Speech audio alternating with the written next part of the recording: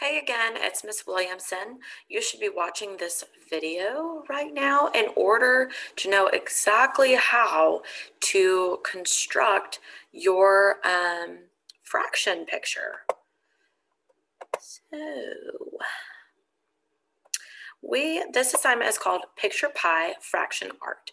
You are going to think about something that you want to try to create with the different fraction pieces. You can um, click on pieces that I already have and move them on to um, the page. If you want to make a sun, you can grab the yellow circle. Um, I'm going to go through some tips and tricks that will help you to build the best picture possible. So I'm going to use one whole circle for the main part of the sun. And for the rays of the sun, I want to use eighths. But notice how I don't have any more yellow one-eighth pieces. I can do one of two things. I can change the color of these pieces over here by coming up to the paint bucket and simply changing the color to yellow. But if I know I want these pieces over here um, for another part of my picture, then I'm going to need to copy this 1 8th piece. You're going to find on your keyboard where it says control, you'll find the letters C, T, R, L in the bottom left-hand corner. Hold that button and find the letter C and click C. So you need to hold the control button and press C. You can also copy something by right clicking on it towards the right side of your keypad, your mouse keypad, and whoops, and clicking the word where it says copy. After you click copy, you're gonna want to click off of that piece right click again and click paste. If you already know how to do this, this should be pretty easy for you. Um, if you want to rotate your fraction piece, you're going to need to, oops,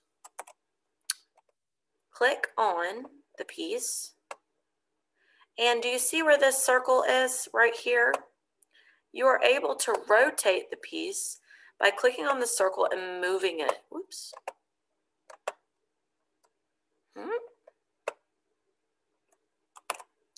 Okay, so as you can see, this can get tricky real quickly. So um,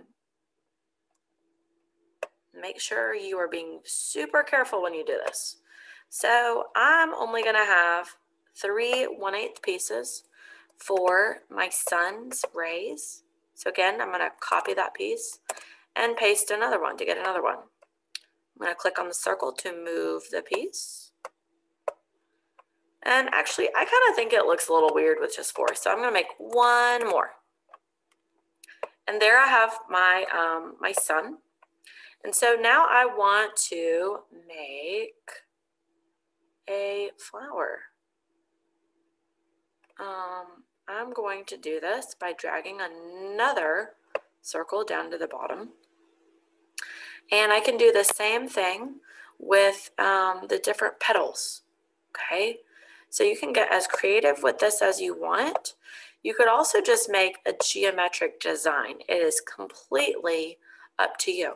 But the next part of this assignment is located on slide two.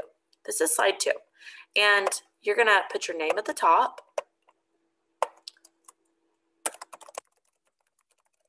you are going to type in this box what you have created.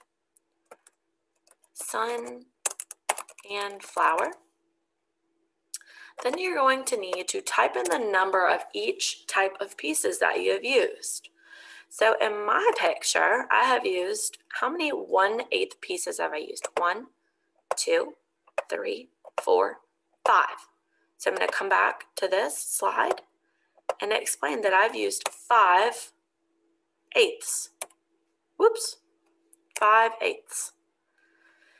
Hmm, the next part is fourths. Did I use any fourths? No, I did not. The fourths are over here. These are one fourth size pieces. I didn't use any of those in my picture. So I'm going to type zero.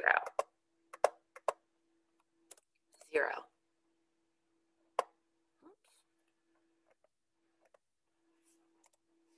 Zero. And the number of thirds that I used, well, I didn't use any of those either. Thirds are over here. Again, you might not use all of the pieces and you might not use all types of the pieces. I only used one half and I actually used two wholes. So once you get done with this, this assignment, make sure you press the turn in button so your teacher can look at your beautiful artwork and your excellent math skills. All right, good luck with creating your picture. Um, there's a few ideas listed below, so check those out.